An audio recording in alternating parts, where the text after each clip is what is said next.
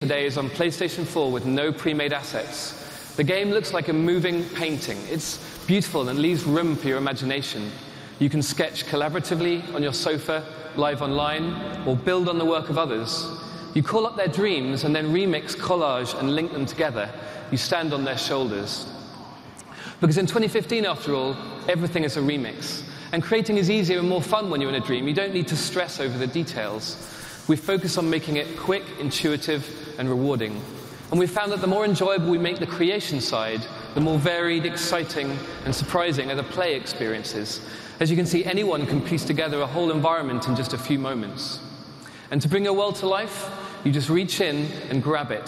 Performance capture, is puppeteering, is the most natural way to animate. So I've only had a few minutes today, so rather than trying to explain it all, I just want to give you a taste. I hope it fills your head with questions, and that's natural. Every person we've shown this to over the last four years says it takes time to sink in.